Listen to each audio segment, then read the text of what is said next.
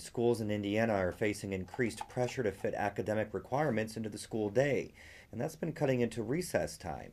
But as WTIU's Emily Wright reports, a growing body of research supports the importance of recess.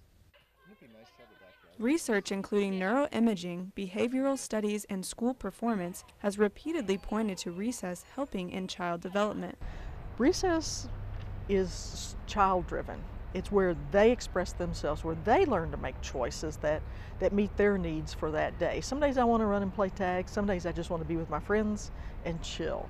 It's where they have an opportunity to guide their own experiences at school. But teachers and principals say it's hard to fit everything, including a state mandated 90 minute reading period, into the school day, and that's why parents need to be aware of how their child's day is structured.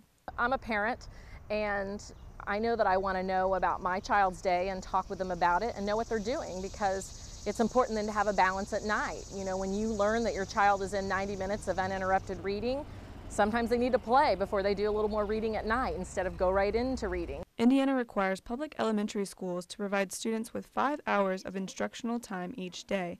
That cannot include time for recess or lunch. For WTIU News, I'm Emily Wright.